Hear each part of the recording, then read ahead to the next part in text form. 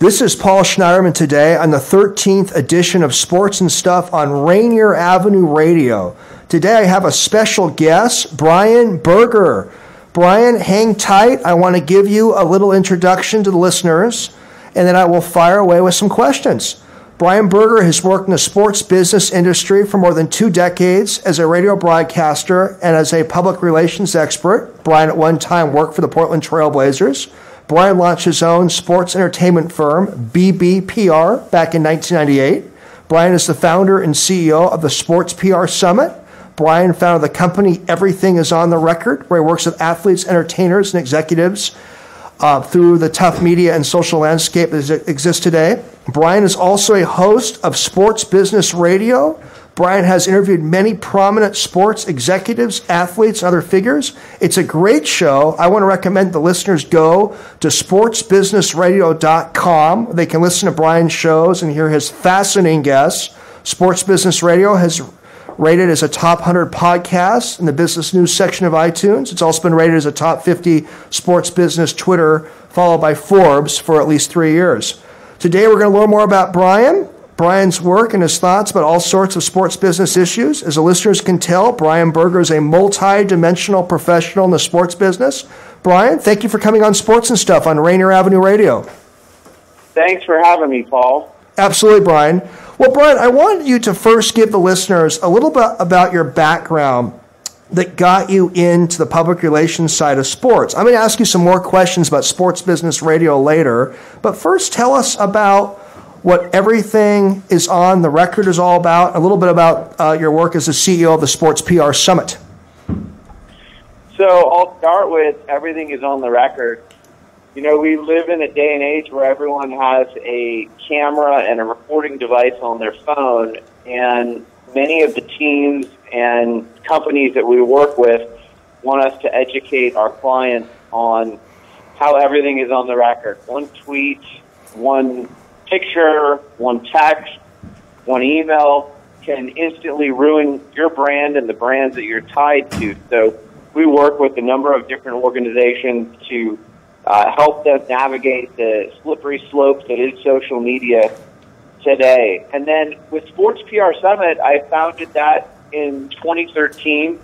I used to go to the NBA league meetings when I worked with the Blazers, and it was great to talk to the other NBA teams. But I always thought, wouldn't it be great to talk to people from the NFL and Major League Baseball and Nike and Adidas and ESPN and Fox? And there was nothing that truly brought the sports PR world together.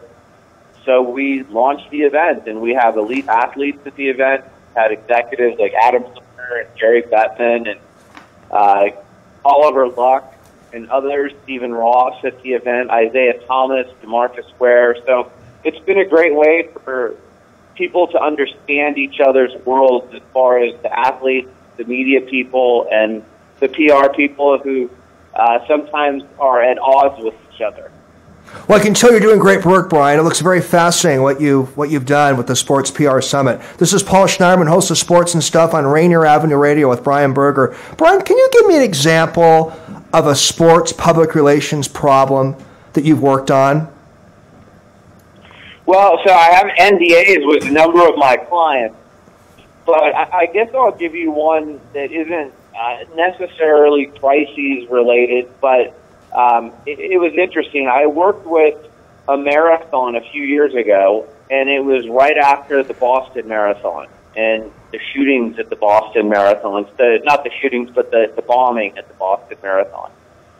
And this marathon didn't really anticipate what was going to happen next. And because they were the next domestic marathon in the United States, people were honoring victims of the Boston Marathon and there was increased media coverage of the marathon, and so we ended up working with Homeland Security and uh, local police enforcement, and sometimes people don't know what to anticipate. So because I've done a number of events, have been doing this for a long time, I always try and anticipate the unknown for our clients. Sure. And that was certainly a case where the Eugene Marathon didn't anticipate what was coming next, but we certainly planned for it after we worked for them. That's a really interesting example, Brian. That Boston marathon with the atrocities that occurred a couple years ago was, was something that definitely affected everybody in the sports world. Brian, um, I want to ask you a little bit about the and what's going on with enhanced technology. With enhanced technology, you know, the fan interaction is now available online, Brian. And with rising costs of tickets, are we going to see more half-empty stadiums in and arenas? Are fans basically less incentivized in part due to modern technology and ticket prices to attend sports games these days in the future? Give me your, give me your feedback on those questions, Brian. Yeah, I think it's going to be interesting. Um, you know, there's still some sports that sell out the games, but with increased ticket prices and food and beverage prices and parking, and the enhancements, like you said, of watching the game on TV or on your handheld or mobile device. And if you combine that with the millennial generation, which is used to watching things on technology, and they have short attention spans, it's going to be interesting in the next five to ten years. We're already seeing attendance decrease at a number of sporting events. Right. But the thing that's interesting is you know, I don't know if you saw in Beijing this past year, they filled the Olympic venue. 108,000 people showed up to watch the championship of esports. So esports is growing, but regular sports attendance is declining a little bit. So as this next generation comes up and their viewing habits and consuming habits are different, it's going to be something to watch for sure. Interesting dichotomy you just mentioned. Very interesting, Brian. Well, Brian, I've been a host now. You're my 13th show, so I'm really learning the ropes at this radio gig. You're a guy that's interviewed so many people. You've interviewed sports commissioners, executives, athletes, all sorts of interesting people. And one thing I'm learning by in this business, Brian, is that every interview there's something new you learn from a guest and a subject matter. Uh, one example, I had former U.S. Senator Slade Gorton on a couple weeks ago, and I asked him a non-sports question about a tough Senate vote that he cast. He gave a very interesting answer, Brian. Brian, again, you've interviewed so many famous, interesting people in the sports business. Can you mention like one or two really interesting things that you learned during an interview with a guest that was sort of unexpected and really stood out as especially interesting? Well, so first of all, doing your research before an interview is so important obviously you've done your research for today. But I'll give you an example. When I interviewed Mark Cuban, the owner of the Dallas Mavericks, sure. investor on Shark Tank, I did my homework, and I like to find the facts that no one else finds. A lot of the famous people, the celebrities, they get asked the same questions over and over again. So I found out when Mark Cuban attended Indiana University that he had two jobs. One was selling powdered milk door to door. And two was he taught disco dancing lessons to co-eds at Indiana University. So one of my strategies in interviews is to ask those types of questions early in the interview, show the person I'm interviewing that I've done my homework, I found those little nuggets out about them, and then they relax with me, and I put them on my couch, so to speak, and they talk to me very openly the rest of the interview. So it all comes from finding those little nuggets, finding those stories that the guest wants to share. The other piece of advice I would give you is when I first started, I would go into this interview with many of my questions and I just worked my way through my questions, but I didn't do as good of a job of listening to the answers. Sure. And sometimes the answers will take you in a different direction than what you may have mapped out before you started the interview. And the best advice I can give you is go where the interview takes you. Go with the flow of the guest versus being so married to your questions that you don't go with the flow of the guest and follow them where the conversation takes you. Paul Schneider, host of Sports and Stuff on Rainier Avenue Radio with Brian Berger. Well, that's a really interesting nugget you just shared about uh, Mark Cuban, Brian, a minute ago. Yeah, he's an interesting guy. He was one of my favorite interviews. Uh, you know, over the years, some of my favorite interviews, Mark Cuban, David Stern was my first guest back in 2004 when he was the commissioner of the NBA.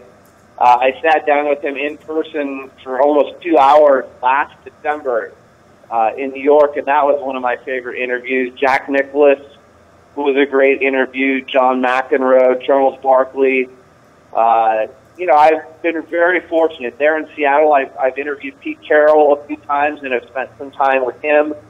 So I'm fascinated by people. I love to find the stories that other people don't find and ask the questions that other people aren't asking, and my audience has uh, really come to appreciate that.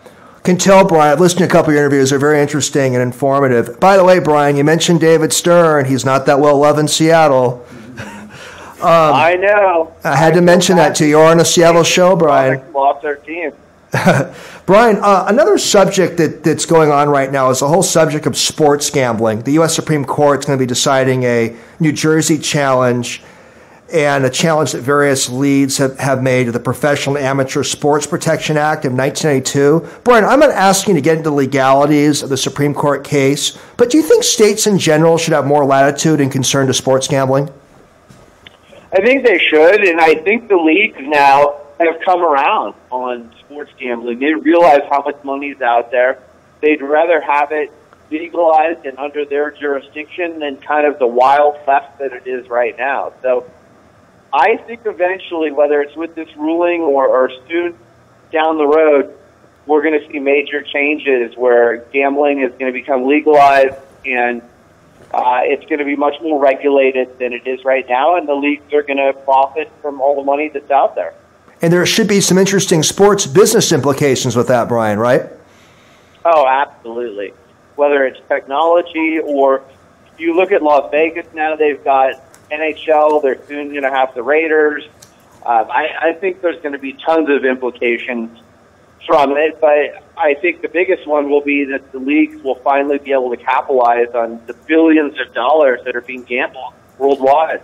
We'll have to see what the Supreme Court does that case, Brian.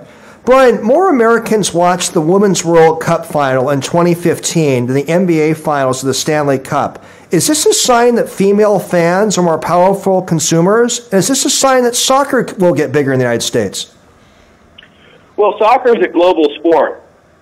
Not that the NBA isn't, but soccer really is the world sport. So, you know, it's not surprising that a huge audience would tune in to watch women's soccer. And by the way, uh, as far as American soccer goes, there's many more people that identify and can name the women's soccer players than the men's team. Right. Because of the success that they've had over the years. So I'm not surprised by that. You know, I'm in Portland, and the Portland Thorns from the NWSL play here, and they average 20,000 fans a game, which is more than many NBA teams draw, and it's actually the most heavily attended women's sports franchise in the world.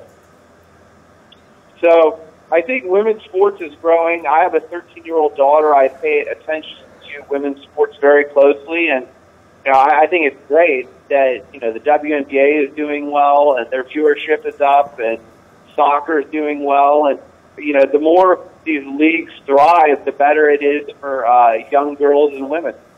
Yeah, a little interesting fact, Brian, though, isn't it, that the Women's World Cup in 2015 had more viewers than the NBA Finals and the Stanley Cup? You know, again, I'm not surprised by it because it's a global audience. Brian, athletes are using platforms right now to take a stand on lots of social and political issues. Um, I want to get some of your thoughts, Brian, about how revenues could be affected if sports become overly political. Well, so one of the things that I do via Everything is on the Record is have these conversations in locker rooms with athletes about pros and cons of taking a stand on political issues. And what I basically tell the athletes is 50% of the people will applaud you and say, great for that athlete for using their platform to speak out on important global issues. And then the other half is going to say, shut up and stick to sports. I don't care what you have to say about politics. Just be quiet and play your sport.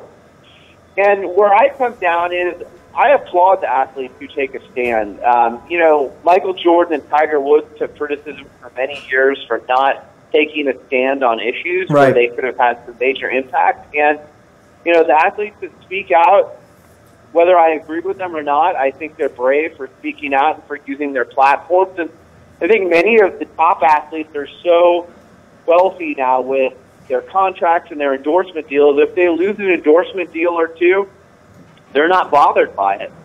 Whereas, you know, Michael Jordan and Tiger Woods, they were a little bit afraid of losing some of those endorsement deals. So they didn't speak out on things because they didn't want to alienate half of their audience.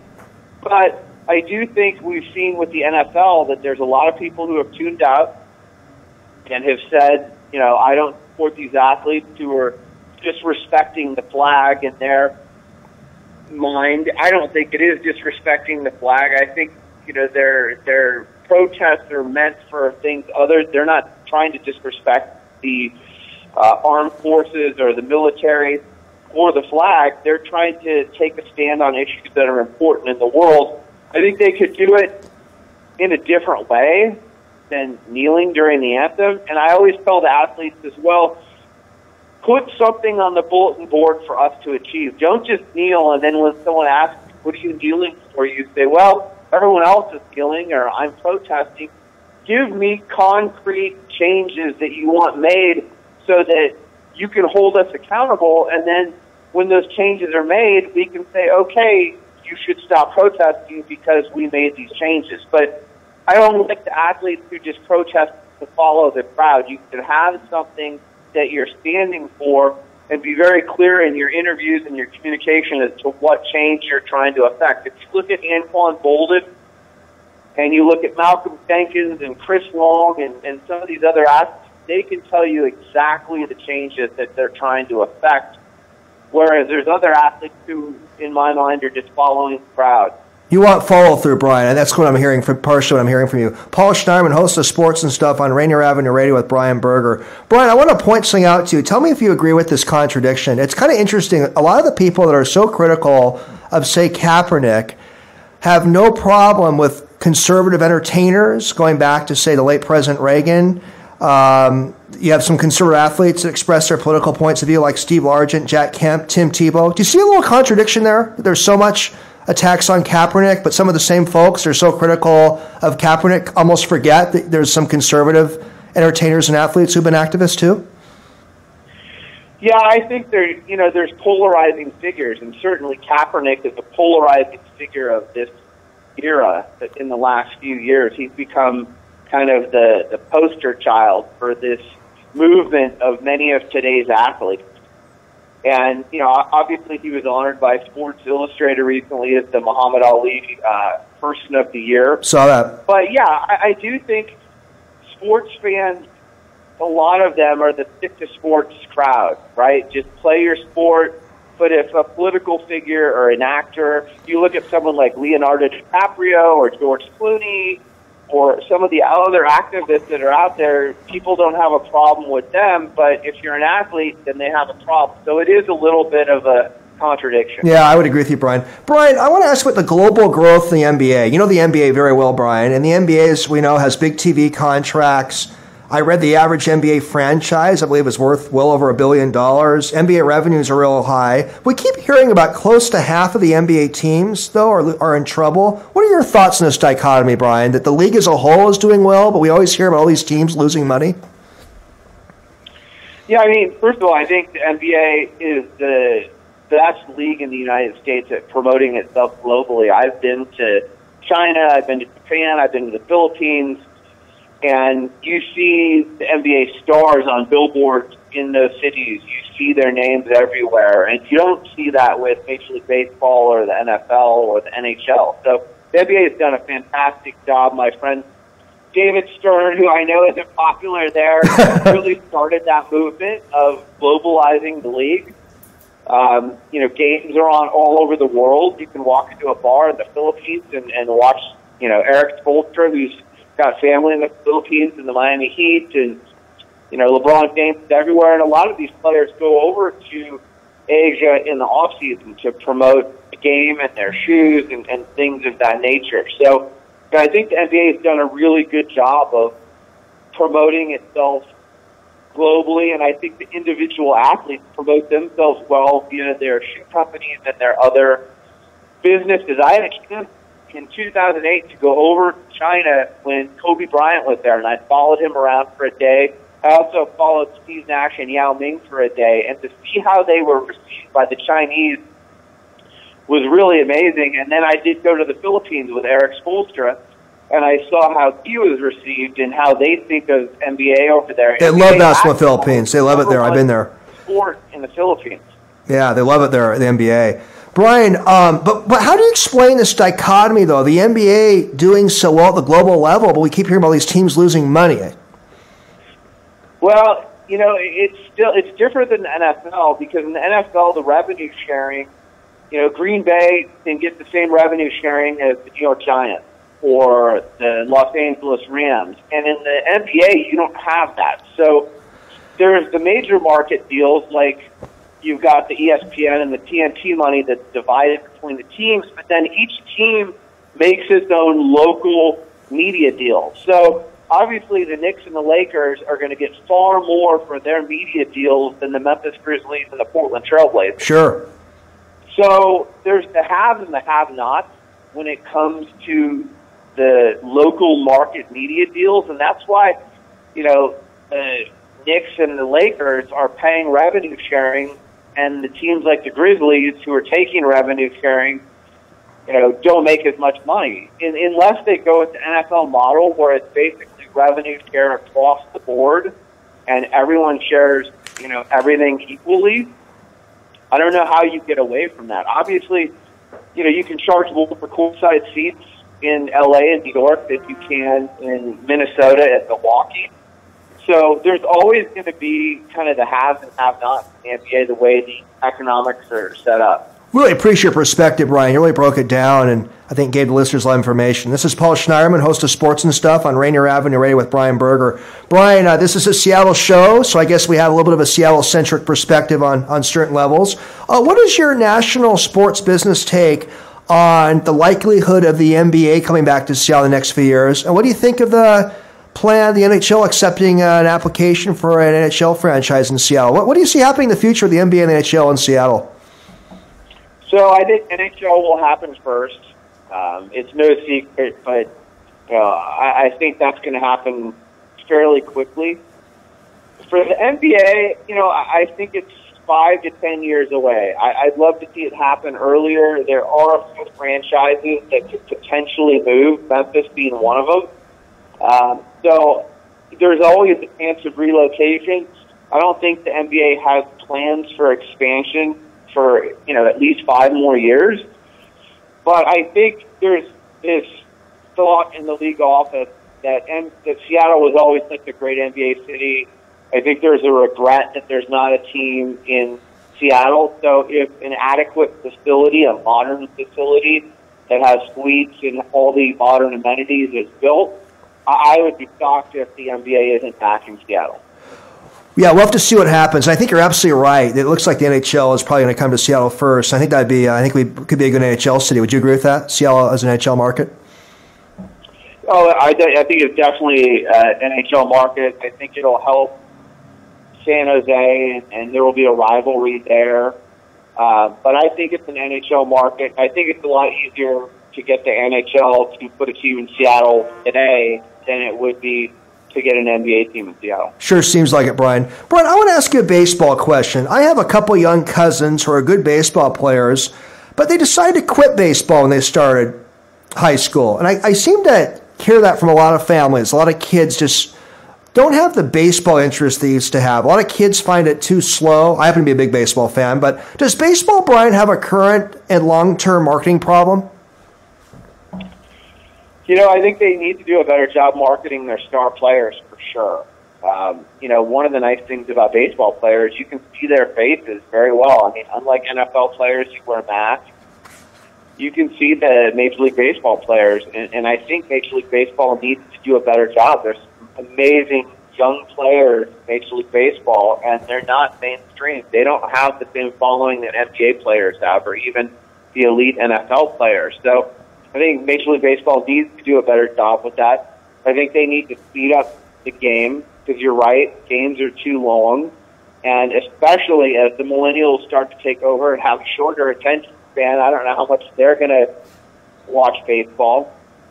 But I think there's definitely a future for baseball. Um, you know, it is the American pastime. I think the World Series the last two years between Cleveland and the Cubs, and this year with the Dodgers and Astros, were two of the best World Series of the last 25 years, so that's been great on the marquee stage, and the ratings have been up. But I, I think baseball does have some work to do for sure. Yeah, I, actually think you're totally correct, Brian. The last couple World Series have been a lot of fun, but but your analysis is, is interesting about baseball. Brian, uh, we, we got a, a couple minutes left, not a whole lot of time, but I want to ask you about any thoughts about big money in college sports. And do you have any thoughts on how college sports could, could be reformed a little bit? Well, it's interesting. I just was in New York uh, about a month ago interviewing Mark Emmert, the president of the NCAA, for the Sports Business Radio Roadshow which we do in front of a live audience. And, you know, we talked a lot about this. And, you know, it's interesting. The moment that you start paying players, it gets interesting because, you know, would you hire 18 and 19 year old players if it was an open market? Or would you go out and get older players who haven't quite made it to the elite level, like the NBA or the NFL? Um, it's an interesting question. I, I think there's so much money in sports now that there needs to be a better way to compensate the players, whether it's paying them, whether it's giving them, you know, more benefits for education, uh, whether it's giving them more food, better housing. Like, there's got to be a way to compensate the athletes for the millions and millions of dollars that they're generating for the schools. And, you know, Mark Emmert has made some rules to get better and to use some common sense. But these rules were written years and years ago when there wasn't the money that's in amateur athletics now. So I think it needs to be looked at with today's lens. But the problem is the NCAA has 1,100 schools that are members, and trying to get the presidents of these schools and the athletic directors to agree to anything is not easy. Brian, we're winding down. It's just been wonderful to have you on sports and stuff, and I hope to have you back one day, Brian. Thanks for coming on our show. Thank you very much for having me. You take care.